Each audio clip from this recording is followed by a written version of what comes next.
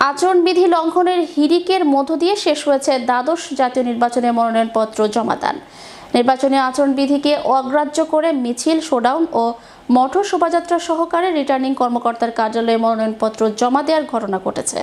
এসব প্রার্থীর বেশ কয়েকজনকে শোকজ করা হয়েছে।